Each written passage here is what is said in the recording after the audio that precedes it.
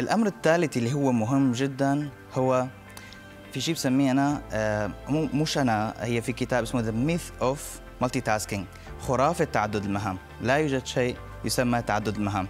لا يستطيع أحد في العالم أن يتعدد مهامه. حتى الكمبيوتر بيشتغل مهمة واحدة فقط لكن بسرعة بسرعة شديدة جدا.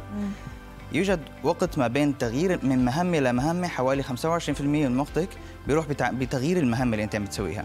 يعني مثال أنا الآن عم بكتب إيميل بدي أبعته. إجاني notification واتساب. رح بدي أشوف الرسالة تبع الواتساب وأرد عليها. إجاني واتساب إجاني notification من إنستغرام. طب هذا اللي بيحصل؟ هذا اللي على. ايميلك بترجع على إيميلك.